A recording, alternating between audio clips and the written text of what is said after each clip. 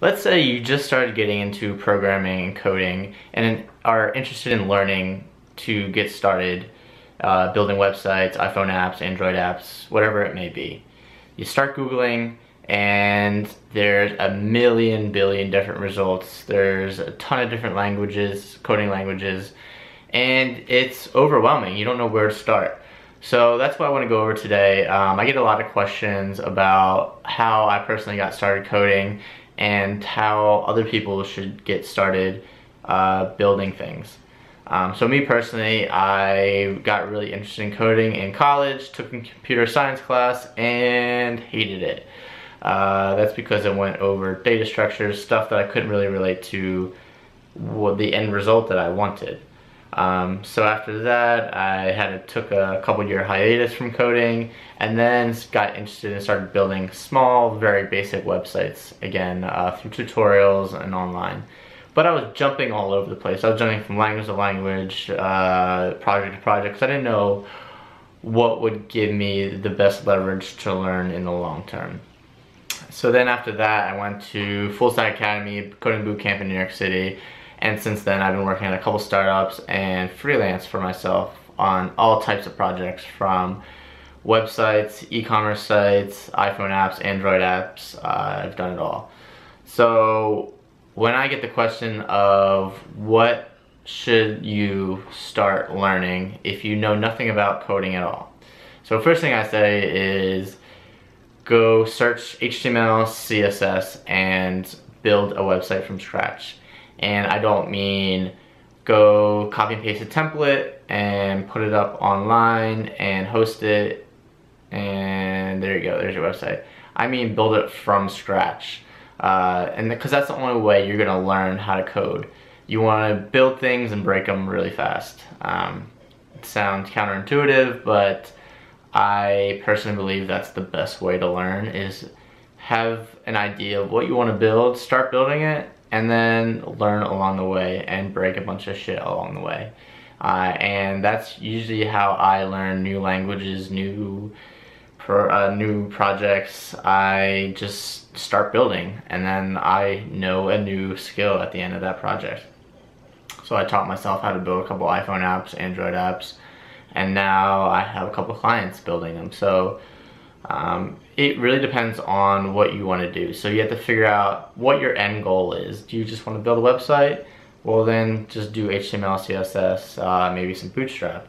If you want to learn how to build an iPhone app, I would probably suggest starting in the same spot. Start small and then work up your way up to an iPhone app because you're not going to be able to just jump right into coding in Swift or React Native, which is what I do. Um, so first things first, start researching HTML, CSS, and just build like a personal website. Um, a picture with about a little bit about you, buy a domain, uh, set it up on GitHub pages, and it's all for free. And once you do that, you could take little steps to build bigger and bigger things. Um, so first off, number one, learn HTML, CSS, uh, Git and I actually have a website that I do an intro class or intro level project just like this on codeshit.org. Uh, so I have two different lessons. I have one on how to build a website and I go over HTML and CSS and Git and all the very basics you need uh, to build a great foundation to build other things. And then after that, once you build that website, we go over React Native and we build an iPhone app. So that being said, after you build this website, um, you want to get more into actual programming languages. HTML, CSS uh, really aren't considered a programming language. Uh, it's kind of it's the backbone of the entire internet. Uh, HTML provides the structure, CSS provides the styling, and you could even throw in some JavaScript in there for, say, Google Analytics, tracking tags, uh, animations, and such.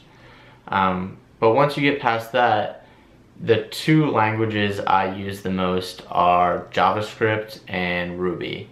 And you could throw Python in there. Uh, I put those three together because they're all functioning programming languages and they're a little more high level. You don't need to um, worry about storage or memory leaks like you would C, C, Shishi, C Sharp or uh, C programming languages or Objective-C or Java or anything like that. Um, so I would start with JavaScript, Ruby, or Python to get started in actual functioning programming languages.